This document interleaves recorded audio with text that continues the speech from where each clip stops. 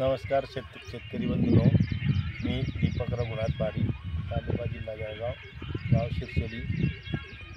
मी आता हे बायोला R C एफचं वापरतो आहे बी बीज प्रक्रियेसाठी.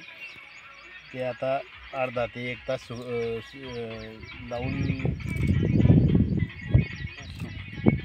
उन्हात सुकून घाल घालून एक चोवीस तासाच्या आत पेरणी करून घ्यायची.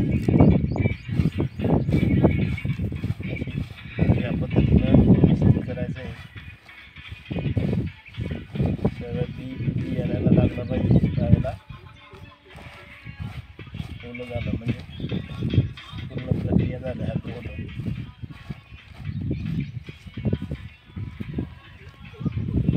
धन्यवाद.